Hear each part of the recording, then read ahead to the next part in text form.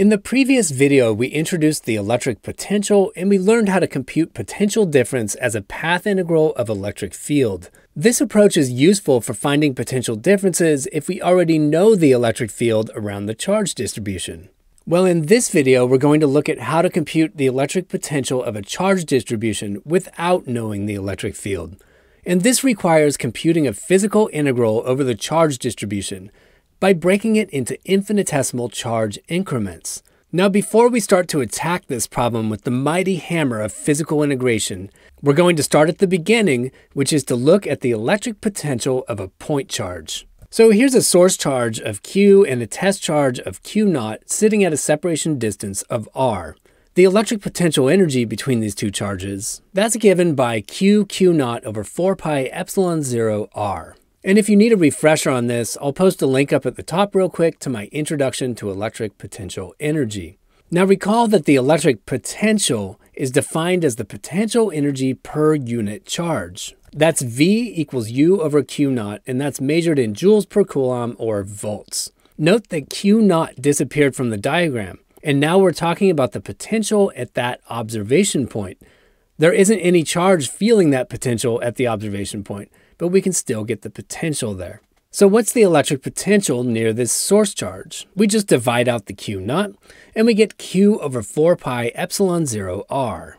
So there's the electric potential in the neighborhood of a source charge, Q. Note that we have already implicitly chosen a reference point for this potential because our potential energy function for point charges uses a reference point of zero when R goes to infinity. The same is true for the electric potential. So V, the potential for the point charge, goes to zero when R grows to infinity. Okay, now we can extend our analysis to a collection of point charges. So we have n point charges here, and their distances to the test charge are all labeled as R1, R2, and so on, all the way to Rn. And the potential energy contribution of bringing that Q naught near all of these other charges it's just the sum of all the individual pairwise potential energies between Q naught and all of those charges. So our total potential energy from bringing Q naught into the picture is Qi Q naught over 4 pi epsilon 0 Ri, where Ri is the separation distance to the ith particle. Well, to find the potential, we just divide by Q naught again. Again, we note that Q naught vanished from our diagram, and now we're just talking about an observation point in our diagram where we're computing the potential V. That V is computed by taking the potential energy and dividing Q naught out of it. So we divide Q naught out of that sum and we arrive at an expression for the potential near a collection of n point charges, and that's the sum of Qi over 4 pi epsilon 0 Ri, where Qi is the charge on the ith particle and Ri is the distance between the observation point and the ith particle.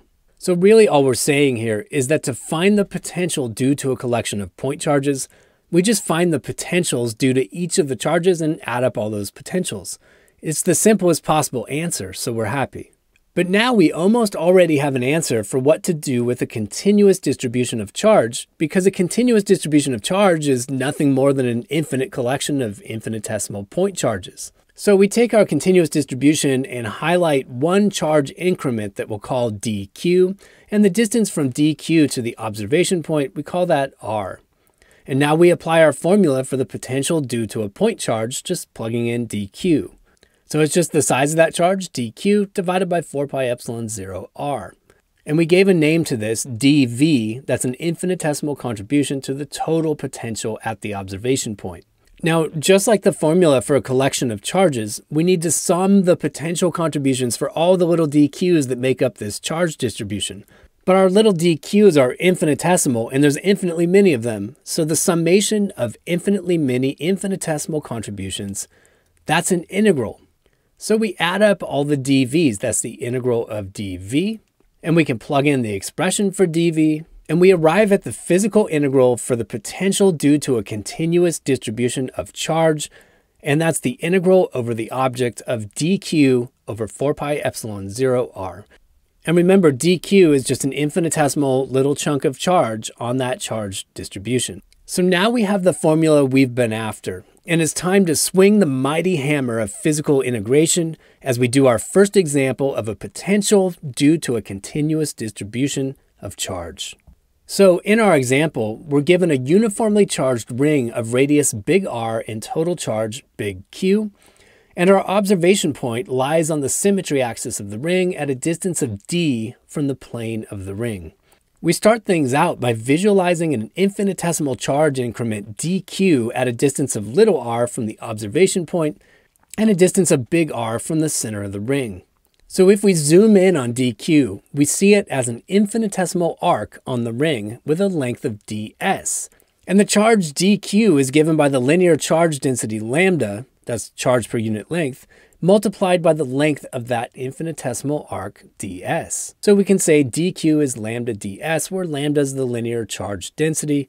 That's measured in coulombs per meter, just to aid your intuition. But the infinitesimal arc ds is equal to r times d theta. This is just the infinitesimal form of the formula s equals r theta. So we have a useful relation that dq, that little chunk of charge, is given by lambda r d theta, where lambda is the linear charge density measured in coulombs per meter. Now, to get the potential integral set up, we need the distance from the charge increment dq to the observation point. That's the r in the integral. And we can see using the Pythagorean theorem here that little r can be replaced with the square root of d squared plus r squared. And now we're ready to just grind through this integral.